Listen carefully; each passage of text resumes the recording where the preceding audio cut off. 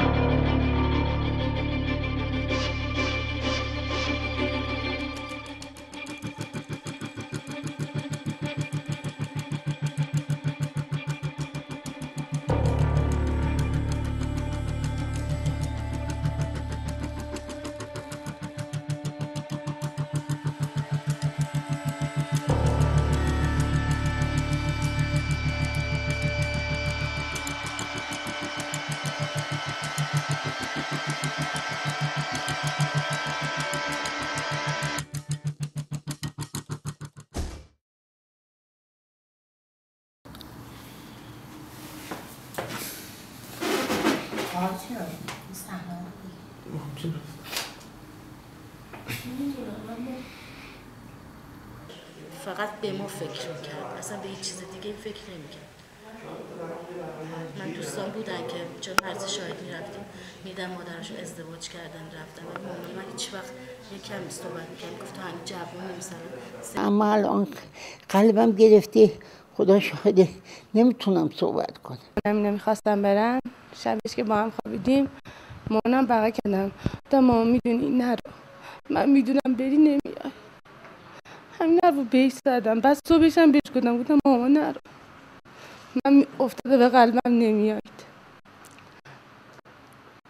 چه خاطری از اون روزی که داشتین بدرقش می‌کردین دارین؟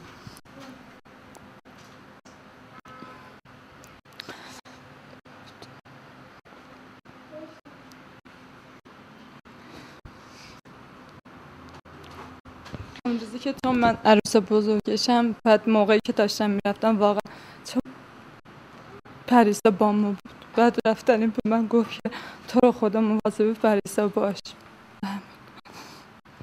خبر شهادتشون رو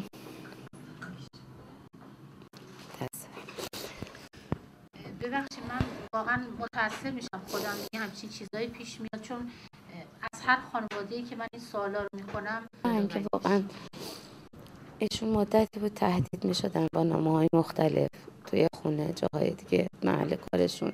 ایشان حرکت می‌کنن میرن. ماشینی که با اینا رو اسکورت می‌کرده ماشین چه اشکالی پیدا می‌کنه؟ یه مقدار عقب میفته اینا رو می‌گیرن. اونی که توی اون همه سرباز و درجه دار که می‌رفتن دو نفر ترور میشن. یکی بابک مومنی بوده یکی هم یه گروبانی بوده اون مال شمال بوده. بابک مومنی سرش می‌برن.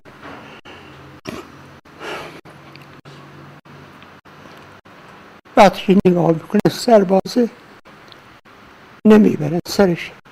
برای ما بدون سر آورده افتاد بارها و بارها شاید تو دعاهامون تو خواستهامون از خدا بود که این بلایی که سر ما اومده حتی سر دشمنامون هم نیاد. مثلا راضی نیستیم دشمنامون هم. این قضیه که مشکلی که به قول معروف حادثه که برام اومد بر اونا پیش بیاد. ولی خب خیلی دلم می‌خواد که حداقل به قول خانمی که قبل ما صحبت کردن دلیلش چی بوده؟ گناه اینا چی بوده؟